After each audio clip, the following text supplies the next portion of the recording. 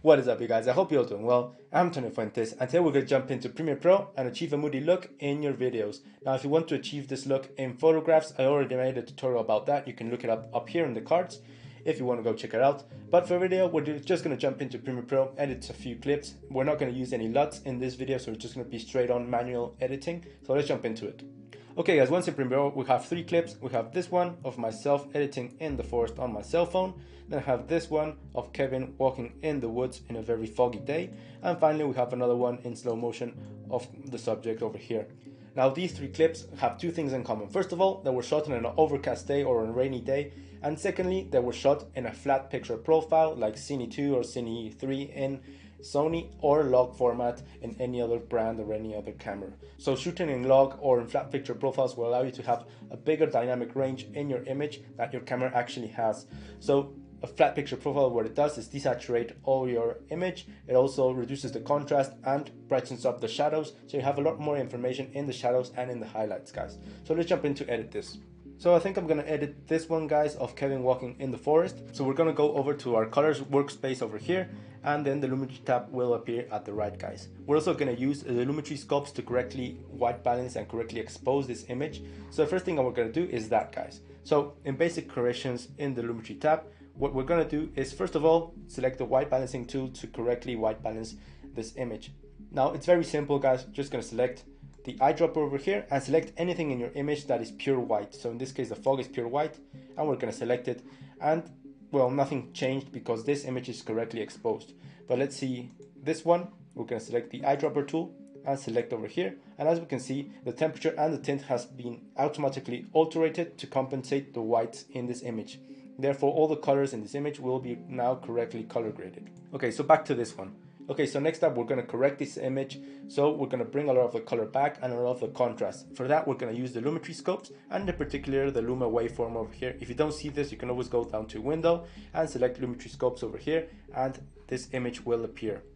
Now, the lumiscopes basically is a graphical representation of the luminance on this image. So if we play this image, we can see the overall exposure of this image. Here we can see the silhouette of the subject in the middle, and the brightest parts of our image will be at the top nearing the 100%, and the darkest parts nearing the 0%. So what we want to do is move the blacks all the way down until something touches that zero line as we can see a little point over here is touching it that's the shade under this plant and basically we're knowing that this part of the image has enough dark parts to be correctly contrasted. Next up the highlights, here we have some overexposure, so we're going to drag down the whites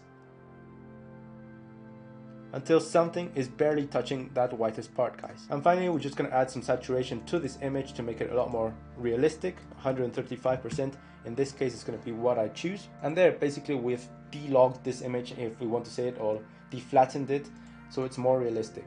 Okay, next up we're gonna add our color grading guys and for that I'm gonna add another Lumetri Scopes tab. So we're gonna go to effects, type in Lumetri color and we're gonna drag it over our clip once again. Now in effects controls, here we can see another Lumetri tab has appeared and over here in the Lumetri color we can change from one Lumetri to another. Now in this case we're gonna go all the way down to the curves and the first thing I'm gonna do is add some contrast. So I'm gonna add an S shape, bringing down the shadows and lifting up the highlights just a bit, just like that guys quite happy with that. Next up in the hue versus sat curve, basically we can select the color and desaturate. So in this case, I'm going to desaturate all the blues and some of the greens. So for that, I'm going to select a point over here, selecting the warmish tones. Then over here, another point.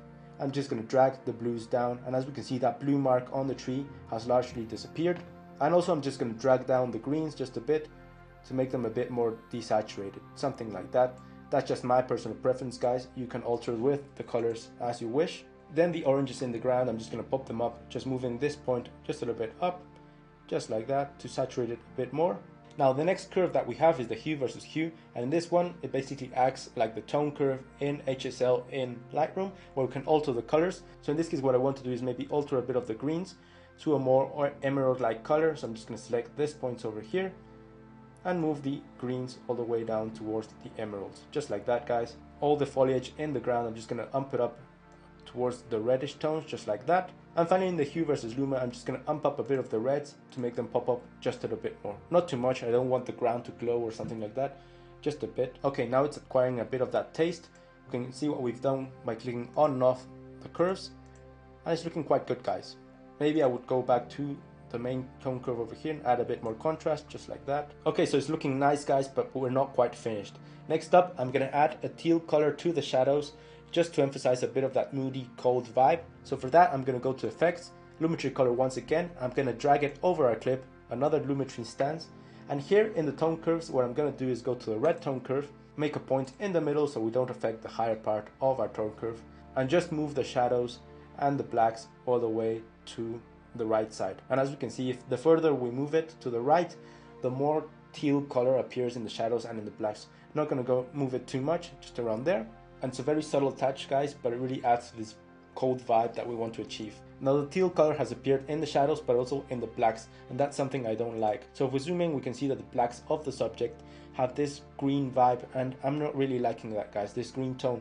So for that I'm just going to add another Lumetri color over here, drag it on top and this one we're going to go to the Luma versus Sat curve over here make a point in the shadows and drag the blacks down. Basically now what I've achieved is desaturating the blacks completely so there's no saturation in darkest parts of our image. Okay, so next up I want to darken some parts of the image and lighten another ones. So for that I'm going to use something like the gradient filters that we have on Lightroom. So in this case I'm just going to drag another, once again, another Lumetri color over our clip, go to effects controls and in this one I'm just going to select the masking tool. So in this case I'm just going to select the rectangle tool.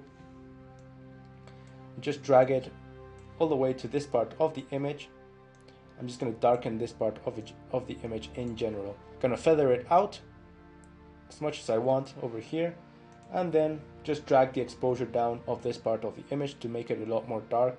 And then I'm just going to do the opposite, create another effect, another Lumetri color over our clips. And this one I'm going to create a mask on top this time to make the brightest parts of our image pop up a lot more.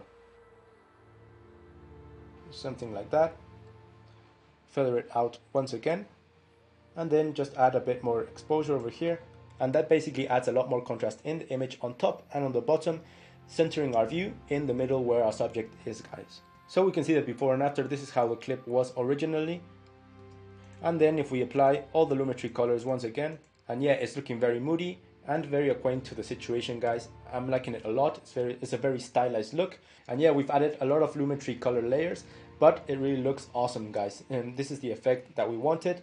Very acquainted to the situation. Now let's do another one. Let's do this one where Kevin is in the middle of the frame and here we have some skin tone so it's a bit more complex okay so this one is a bit more complex guys. Uh, because we have some skin tones I want to achieve correct skin tones. We don't want him to be something unnatural or yellow or, or reddish or anything like that. So the first thing I'm gonna do is go over to the Lumetri tab once again. And in basic corrections first of all we're going to correctly white balance this image here we can see that it's affected a bit of the tint and a bit of the temperature to bring them up. And then we're going to go once again to the Lumetri scopes, to the Luma waveform and correctly white balance all this image. So for this one, I'm just going to do the same basic corrections, the white balancing and all of that. Just going to jump that. And next up in the tone curves, we're just going to add our effects once again. Just add a bit more contrast in this case. Just like that, guys. Now in the tone curves, we're not going to touch anything from the oranges to the reddish. That will determine the skin tone. So those colors, we're going to isolate them so we don't move them. Then I'm just going to desaturate a bit of the greens and a bit of the blues once again. Then in the hue versus hue, again, we're not going to touch the skin tone, so those aren't going to be affected, but we are going to affect a bit of the greens and the blues, just like that, guys. So next up, I'm just going to add that teal color to the shadows once again, just by creating this gradient on the reds once again. And then in another Lumetri color layer, I'm just going to select the skin tones so we can achieve rich and correct skin tones and we're going to go all the way down to the HSL secondary. Now here in HSL secondary what we're going to do is select the skin tones of our subject. If you want a more in-depth tutorial on HSL secondary I already made a video about that. I'll link it up here in the cards once again. So with the eyedropper tool we're going to select the skin tones of Kevin. Select this box color gray so we can see what we're selecting and now we're going to move the scopes all of the sliders until we have full selection of the skin tones of the subject. So just like that guys, then I'm going to add some denoise and some blur effects so we don't get some strange artifacts in our selection. And then I'm just to go all the way down to the corrections, hit this little color wheel, so we have the three color wheels. And here we're to apply some colors to achieve some rich skin tones. And for that, we're going to use the Lumetri scopes, but it's not going to be the waveform. In this case, we're going to right click and select the vector scope. Now the vector scope basically is a circle where it determines where the colors of the image are towards and with what intense saturation. The further this white part of the image is from the middle, the more saturated it's going to be. So here we can see where their skin tones are and they're basically in this line which is called the flesh line which is in the middle of the yellows and the reds so let's say that our colors were towards the, the yellows so what we wanted to do to correct this is move the scopes to the other side by adding some magentas and some purples yeah so something like that guys so in this case it's quite precise i'm just to add a bit more saturation to see what we're working with and it's basically in the middle what we want it to be is just a little bit to the right of the flesh line towards the reds so for that, I'm just gonna add a bit more red into the tones, just like that. I'm gonna desaturate it. And there it is, precise skin tones. Next up, I'm just gonna add some reddish tones into the shadows, just to make it a bit more fleshy. And finally, in the highlights, well, the highlights will depend on the reflection on your skin from the ambient light. So in this case, it's a very white uh, tones in the highlights. So I'm just gonna add a bit more blue into the highlight just like that to make them more realistic to the situation. So I'm just going to click on and off HSL secondary so we can see what we've done. It's a very subtle touch, but it's basically eradicated that greenish tones that we get from Sony cameras. This was shot in an a6500. So here we can see the greenish tones or yellowish tones. Now we activate what we've done HSL secondary and the skin tones are more acquainted to what the skin tones of the subject is in the real life guys. So that's the way you can achieve correct skin tones. And finally, what I'm gonna do for this one is just create some color contrast between the subject and the background. So for that, I'm gonna go all the way down to control effects once again, slide down to select this Lumetri color that we just did, right click, copy, and paste it in the same clip. And now over here in the selection on the second Lumetri, we're gonna invert our selection. So we're selecting everything but our subject or the skin tones of our subject and over here in the color wheel, I'm just gonna add a little bit of blue tint to everything, just like that guys. What we've created is some color contrast between our subject, the skin tones, and the background. Here we can see what we've done. It's a very subtle touch guys, but it really adds to this moody vibe and this effect. And that's all I do guys to achieve a moody look in Premiere Pro. I know there are several layers of Lumetri color, but I highly recommend you to do this and um, to put every single effect into a different layers to have better control, better organization of your color grading so you can see what each layer does. And basically like that they're not affecting each other guys. So that's how i go clip by clip color grading manually guys. But normally i don't have the time so sometimes i just slap on a LUT on top of it a filter and then I just edit the clips individually to make them match. Now, if you don't know what a LUT is, it's basically a filter or a preset from Lightroom, which you can apply to your footage on Premiere Pro. And talking about filters, guys, I've created a LUT pack with 12 cinematic LUTs. If you want to go check it out, it's linked down below. That's the way you can support me. So this LUT pack has everything from um, warm color grading to more moody like, higher contrast or more faded. If you want to go check it out, it's linked down below. That's the way you can support me. Anyway, guys, if you did like the video, can you please give it a like? It really makes a difference and consider subscribing. Hit the notification bell to be notified when I upload the next video. I'm Tone Fuentes. Cheers to all of you and see you in the next one.